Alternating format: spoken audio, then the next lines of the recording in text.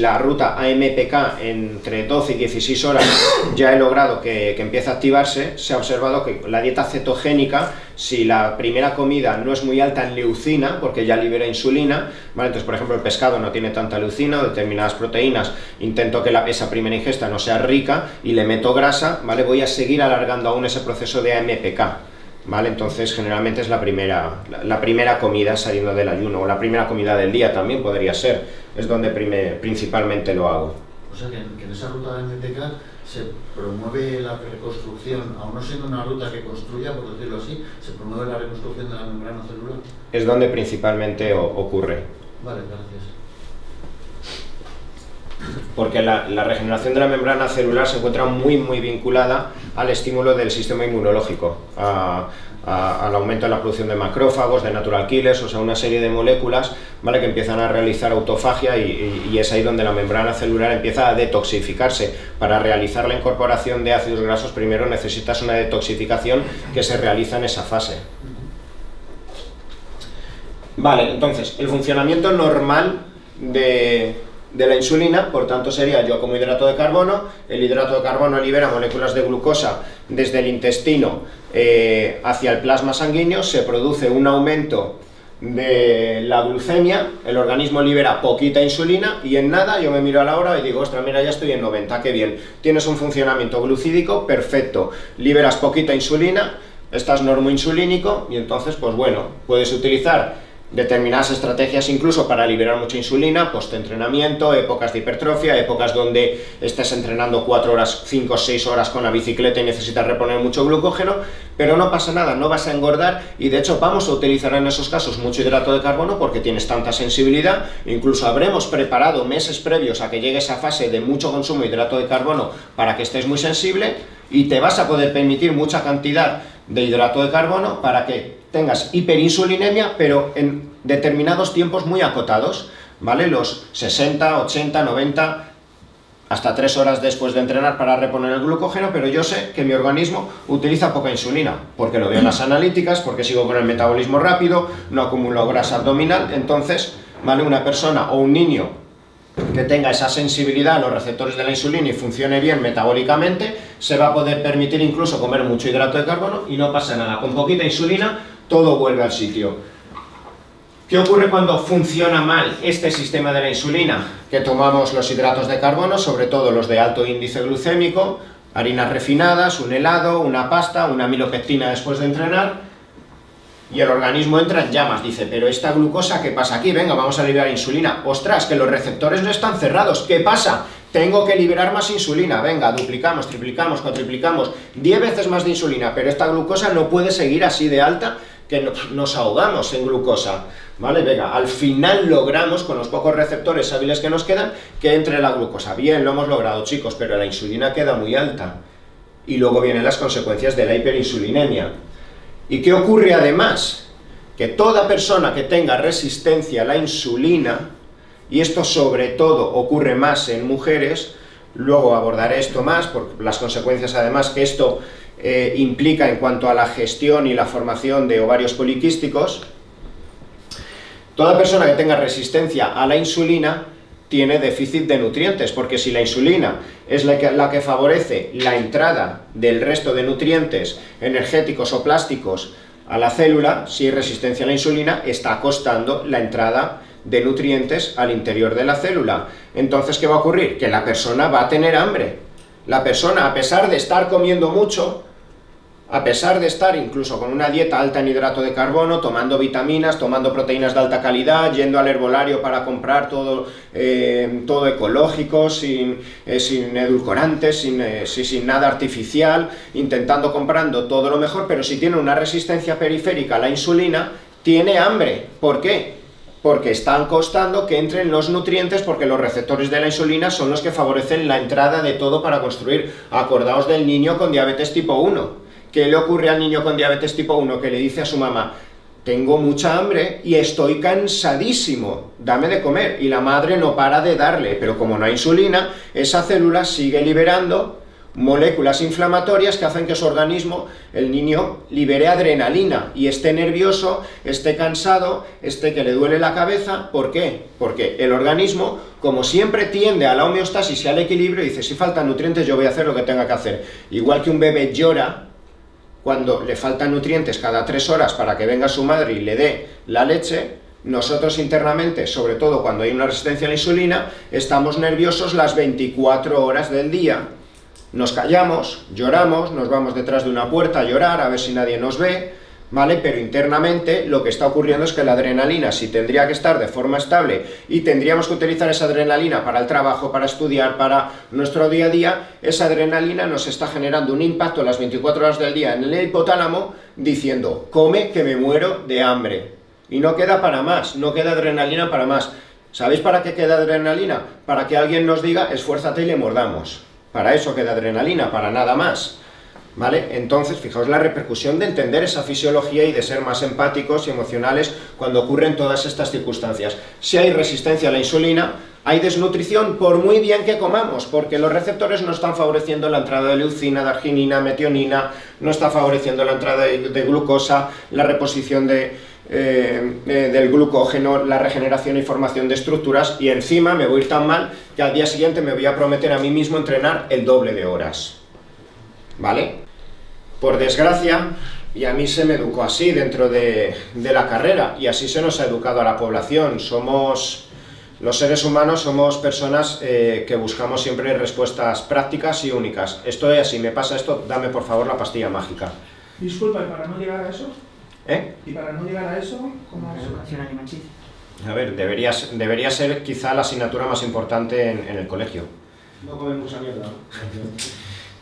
Hacer deporte, entender lo que es un índice glucémico en vez de, bueno, es importante entender lo que le ocurrió a Napoleón, ¿no? Pero también, también es importante saber lo que le va a ocurrir a tu páncreas o, sabe, o tener la capacidad desde la edad infantil de poder reducir el presupuesto sanitario de lo que va a ocurrir dentro de 20 años, porque con esto no solo ahora abordaremos de toda la implicación que esto tiene, no solo, por eso yo siempre, y vuelvo a incidir, no hablo de solo rendimiento o cómo dejar a alguien en su punto físico, siempre en mis seminarios hablo de salud, porque cualquier persona que os viene a vuestra consulta o os pide un consejo, Directamente os está hablando de cómo mejorar su estado deportivo, de la competición dentro, de cuatro meses, pero indirectamente toda persona quiere encontrarse bien, porque de nada sirve tener el mes de su vida previo a las competiciones para triplicar los likes en mi Instagram si luego durante el año siguiente estoy llorando viendo las fotos de cómo estaba y además sin poder levantarme porque no tengo energía. Ese es el mayor valor que podéis aportar a todas las personas que están a vuestro alrededor. Eh, cómo podemos prevenirlo de forma multifactorial. No existe la pastilla mágica, yo os puedo hablar también de la metformina, que como médico la receto, de la pioglitazona, o de una persona cuando ya me viene sin reserva pancreática, le mido el péptido C, que es un marcador que me dice la reserva que existe en el páncreas, y digo, ya, está muerto, te toca pinchar insulina, no podemos hacer otra cosa, y soy el primero que la receta. Yo no reniego en mi profesión, y gracias a que soy médico puedo también abordar con fármacos, pero hay que abordar siempre de forma multifactorial, con nutrientes, con ayunos, con calidad del sueño, con gestión de emociones, con determinados suplementos, con saltadas de dieta que me liberen tanto las endorfinas que me permitan al día siguiente levantarme queriendo comer mi brócoli.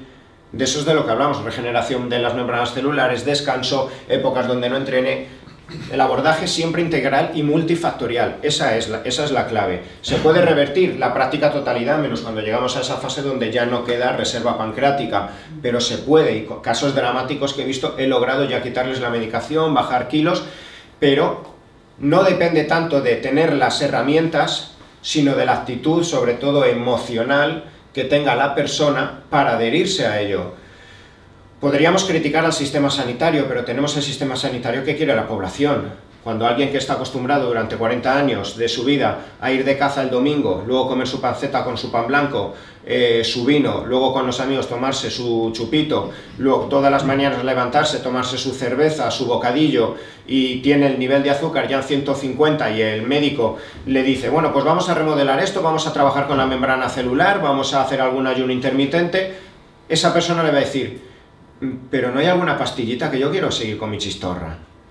Eso es lo que va a ocurrir. Entonces, la culpa no es ni de la medicina, ni de los médicos, ni del sistema sanitario, ni de los laboratorios. No, es un abordaje integral y, es, es, una necesidad y un cambio de conciencia que empieza por cada uno, cada uno haciendo lo que puede. Yo como médico, con estos seminarios, con los vídeos que hago, con mis pacientes, vosotros seguro que saliendo hoy con la conciencia que podáis, los que seáis preparadores con vuestros clientes, con vosotros mismos, con vuestros familiares o vuestros amigos, y poco a poco ese abordaje integral es el que hará que, la sociedad cambie o que el abordaje integral por parte de los profesionales como yo, pues vaya acercándose más a, una, pues a, un abordaje multifactorial y no solo dependiente de los fármacos.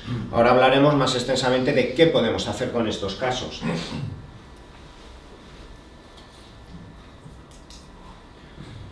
Porque la insulina no es la mala de la película, no es la mala, siempre hay una doble cara. El organismo requiere equilibrio y sin insulina, que hemos dicho, me ahogo en glucosa, empieza a orinar a deshidratarme con tal de bajar como sea esa glucosa. Yo necesito insulina para introducir la glucosa, para utilizarla y realizar la glucólisis, obtener ATP, para realizar el reservorio del glucógeno a nivel hepático y a nivel muscular, para activar la ruta emetor y de esa forma activar, eh, eh, activar proteínas y realizar hiperplasia, etcétera y quedaos con un concepto. El exceso de insulina siempre hace subir de peso.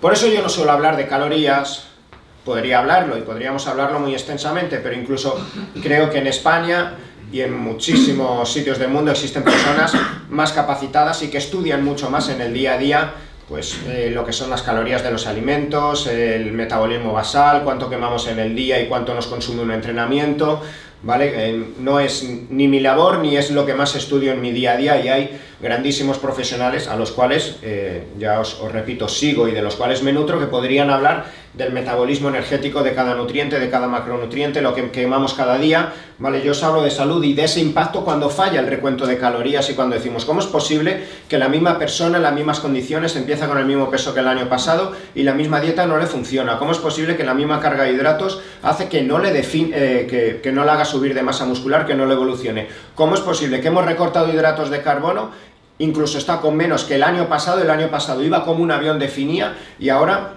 está engordando, está reteniendo líquidos. Hay cosas que no encajan, ¿por qué? Porque a nivel fisiológico hay cosas que mandan, que están por encima de las calorías, de los macros que tomamos, de los carbos, de las proteínas, del HIT que hacemos, del NIT, de lo que quemamos en reposo, de lo que andamos. ¿Por qué? Porque al final todo depende de la cantidad de hidrato de carbono del metabolismo que vamos a hacer a nivel eh, de la milasa y del intestino, de cuánto vamos a absorber, de esa resistencia a la insulina, de cuánta insulina vamos a liberar, de cómo va a estar mi ruta MPK, cómo va a estar mi ruta mTOR. Hay tantas variables que muchas veces no podemos, ni muchísimo menos, de forma estratégica, todo hacerlo depender de las calorías y de lo que quemamos. Es una locura, es una locura porque existen muchísimas más variables que es en lo que yo siempre os intento trasladar. Y el exceso de insulina siempre hace subir de peso. Siempre retiene líquidos, la insulina bloquea todos los procesos que queman grasa, bloquea la eliminación de, o la expulsión de los ácidos grasos desde los adipocitos. Si hay un exceso de insulina, la persona sube de peso. Cuando estás trabajando con un diabético tipo 1 hasta que le adaptas la dosis, etcétera, y estás, eh, no estás tan pendiente de la dieta, sino de mantener sus niveles de glucosa constantes, su hemoglobina glicada, que es la que nos determina si los niveles de glucosa han estado estabilizados los últimos meses, si tú te pasas y le das 20, 30 unidades más de insulina, con las mismas calorías, pesa 8 kilos más. Un exceso de insulina te hace subir de peso. Fijaos la relevancia más allá de las calorías, del conteo, de lo que quemas, del aeróbico en ayunas, más lo que luego entrenas por la tarde, la saltada cuántas calorías es y la repercusión que va a tener. Si hay exceso de insulina, ya sea exógena o porque el cuerpo la está produciendo por esa resistencia periférica, se va a subir de peso. Hay dos variables que siempre van a hacer subir de peso más allá de las calorías, de lo que quememos, incluso que estemos en una dieta hiperproteica o casi sin calorías, un exceso de insulina y un exceso de cortisona. Cualquiera de vosotros seguro que hayáis estado inflamados, hayáis tenido una alergia alguna vez, o cualquier persona con una inmunosupresión, un trasplante al corazón, ¿cómo se pone? Con la cara así, lleno de peso, ¿por qué? Porque le están dando corticoides. ¿Qué ocurre con una persona que incluso esté excesivamente estresada, liberando cortisol constantemente sin hidratos y entonces el organismo detecta muy poca glucosa y para compensar tiene que hacer gluconeogénesis y liberar mucha cortisona? Pues que a pesar de ir bajando calorías se empieza a hinchar. ¿Cómo es posible eso? Por el exceso de cortisona.